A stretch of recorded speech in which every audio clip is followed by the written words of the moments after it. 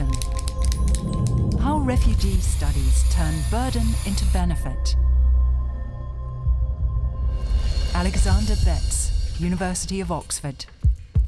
When the Berlin Wall came down, I was nine years old and watching on television with my mother in Bristol.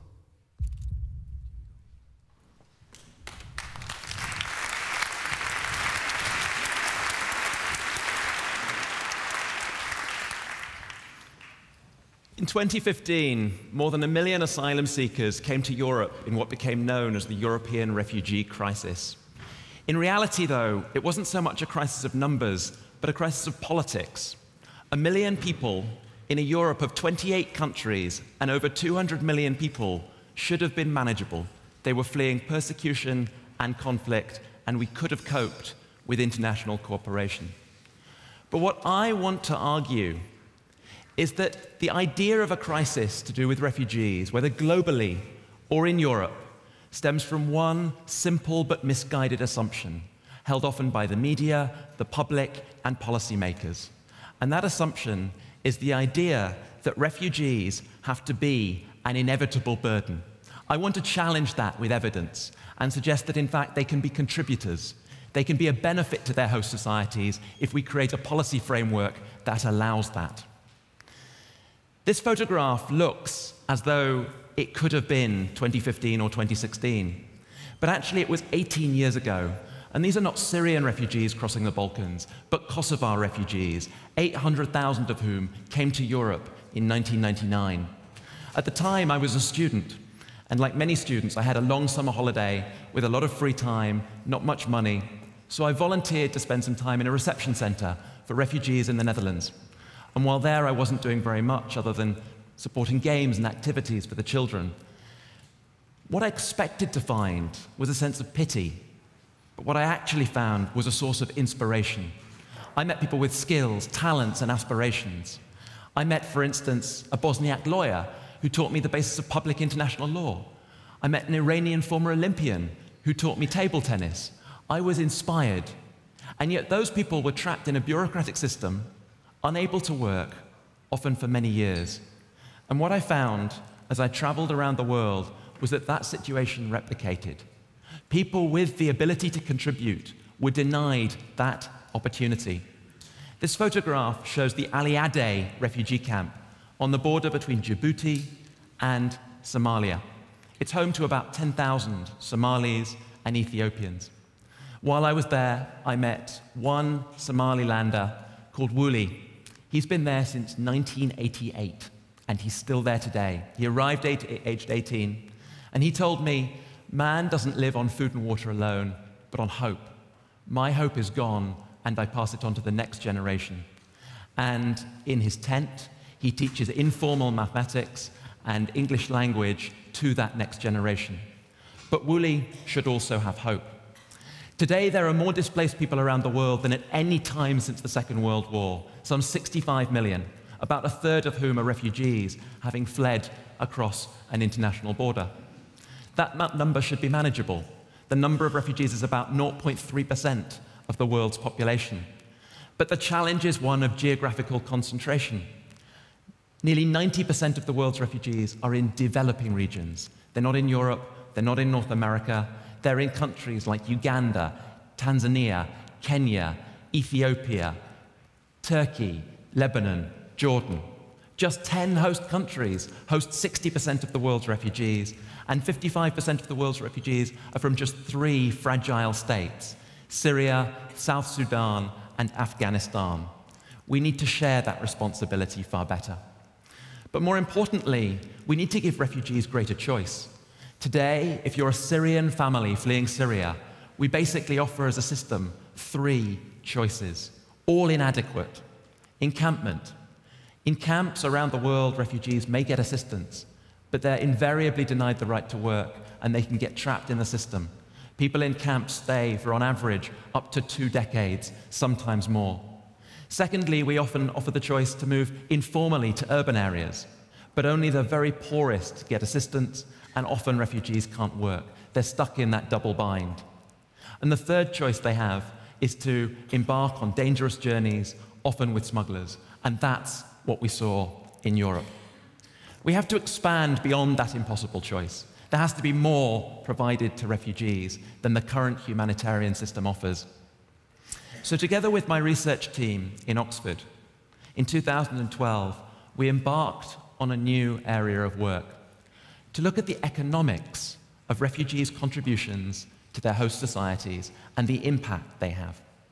And we started that work in a fairly unique country, Uganda. We chose Uganda not because it's representative, it's not. It's a very different kind of host country, but because it's unique. It's adopted what it calls a self reliant strategy. Unlike its neighbors, it allows refugees to work, it gives them freedom of movement.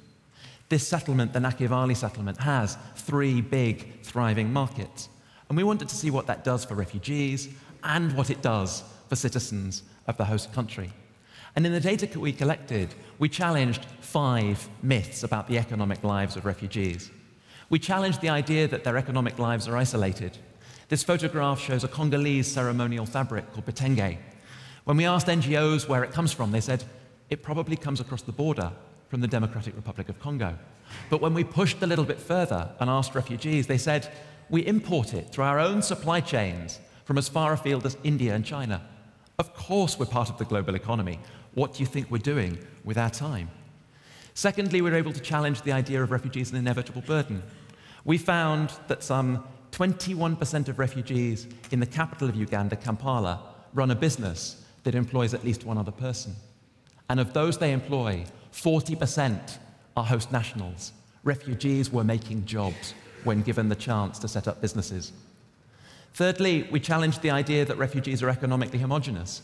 We found over 200 distinctive livelihoods activities in Uganda. And even though the average income was relatively low, there was significant variation. We challenged the idea that refugees don't use technology. They do. SMS technology, even the absence of broadband, was used as part of core livelihoods activities, sharing M-Pesa and business information and staying in touch with contacts. We challenge the notion that refugees are inevitably dependent. They really don't have to be. In our survey, less than 1% of refugee households had no form of independent income generating activity. You can't live on World Food Programme rations alone, and so most refugees simply don't. Since then, we've broadened our study. We're collecting what economists call panel data, cross country data, and data over time, following refugees and host communities. This year, we've collected data in Kenya, a country that contrasts dramatically in its policies from Kenya, from Uganda. It doesn't allow refugees to work. It doesn't allow them freedom of movement. But what we found, looking in the area around this camp, Kakuma, was that even without the formal right to work, refugees engage in economic activities. They support themselves and make a contribution. To parallel the Uganda work, we've challenged five different kinds of myths through this work. Firstly, we challenged the idea of a single legal framework. Even without the formal right to work, there's huge variation in the tolerance of economic activity. In the Dadaab camps, it's fairly intolerate, untolerated. But as you move to Kakuma, local politicians accept that the local economy depends upon refugees. No right to work does not mean unemployment. In Kakuma, 38% of refugees are employed in the formal sector, albeit mainly by NGOs and international organizations. And that compares favorably to the surrounding host population, amongst whom 48% are employed. One of the most stark findings in Kenya, though, is that refugees are not dependent for social protection on the top down international community. They're supporting themselves through their families, their communities, their networks. We asked refugees what they would do if they faced a particular kind of emergency. For instance, if they needed to go to the police, go for a job, were lacking food, or faced an emergency. And at the top of the list was the idea that they would go to community leaders, family inside the camp, or a neighbor, long before they would resort to international assistance. So refugees have informal social protection structures that they rely on. We were able to challenge the idea that the main barrier to economic activity, including starting businesses, was actually the regulatory framework. It wasn't. It was market based factors. Refugees cited factors like demand, supply, competition. It was those that were much more important than than the idea that the government was stopping them from working. We challenged the idea as well that refugees are necessarily worse off than the host population. This data shows years of education comparing three refugee populations, the Congolese, the Somalis, and the South Sudanese, with the surrounding host Turkana population. And what's striking is that Turkana have the least years of education.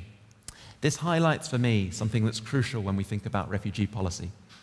A good refugee policy also has to be a good host community policy. The host community must share in the benefits and not be left behind. When we came to crunch the numbers and look at the regression, we found a wide variety of insights into what explains when refugees thrive rather than merely survive. And as you'd expect, the variables that matter are things like education, occupation, years in exile, gender, and regulation. That data is very useful for practice because it tells us how we can create enabling environments that allow refugees to flourish rather than struggle. The things that they need are the things that we would all need to survive economically access to work and the right to work, infrastructure, including roads, water, energy, access to capital, connectivity and broadband, which are lacking in many refugee hosting areas, and crucially, education. We found the returns to education increase as you go through the system from primary to tertiary. But other areas are more challenging than, say, the Uganda example. One example is Jordan, officially home to about 600,000 Syrian refugees, despite having a population of only around 8 million. In 2015, I traveled to Jordan with my colleague, the development economist Paul Collier, and we were there to brainstorm ways in which the country could respond more sustainably to refugees. And while visiting the Zaatari refugee camp, home to 83,000 Syrians, we were taken on a bit of a detour, and we found 15 minutes away was a special economic zone the government had invested about 100 million in that economic zone, connecting it to the electricity grid and the road network. And while 15 minutes away, there were 83,000 refugees not allowed to work, that economic zone had a crucial shortage of labour and workers. So, being Oxford academics, we stood back and we put two and two together and probably made five. And we said, well, hang on, given that you have all of these refugees wanting to work and you need workers, why not allow them to work in your economic zones? And that idea, which we pitched to the Jordanian government and the donor community, took off in London in February 2016 with the launch of the Jordan Compact. The World Bank put funding in. The European Union provided trade concessions to the economic zones when factories employed refugees. And today, there are factories operating employing Syrians alongside Jordanians. For instance, when I visited a couple of months ago, I saw the Al Faya company producing plastics. It previously worked near Damascus and is now operating in one of those economic zones. Of its 313 staff, around 82 are Syrians. It's exporting to Europe under the compact, where 40% of its sales go. It's got a mixed record, but I think from a country that previously de facto denied refugees the right to work, to one that today has provided over 60,000 work permits to Syrian refugees, there's massive progress. It's mainly providing jobs to men. More needs to be done to support gender parity. There's a lack of investment from companies, with a few exceptions, like IKEA and Walmart. But it's an experiment that shows that if we can make the case to business, we can transform economic opportunity and create autonomy for refugees. This week, and in fact today, we're launching a new study that's come out, which we've jointly authored with Deloitte, looking at the economic lives of Syrians in Europe, comparing the UK, the Netherlands, and Austria. And what it shows is a real opportunity, but also a paradox. We found that 82% of Syrian refugees in our survey are unemployed, and yet 38% have university degrees. So we have the talent here, but we need business to embrace that. The main barriers that we found in the study are language, institutional disincentives, and skills.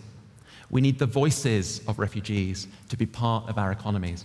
And that's why I'm delighted that after this session, four former refugee students will be present next to the sunflower, I gather, so you can engage in conversation with them. So, what does this mean for rethinking the system? A functioning refugee system at the global level and at the national level must do three things. It must provide a duty of rescue. It must provide safe haven to those in need food, clothing, shelter. But that by itself is not enough. We must also offer autonomy, jobs, education, socioeconomic freedom, the things that ensure, human flourishing. And that includes doing so in the regions where most of the refugees are. And that's where the system has been lacking. The third thing, though, is we need a route out of limbo. It may be acceptable to allow people to stay for five years, even seven, but beyond that is far too much. So, what next? What can you do to help the system?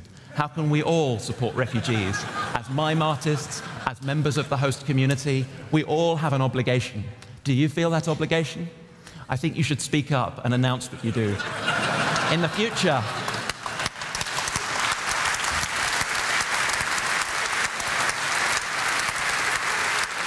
In the future, there will be more displaced by climate change and fragile states, and we all have a choice. We can recognize them as a benefit to our societies or treat them as a burden that stands on stage and unnecessarily offers water. Thank you very much.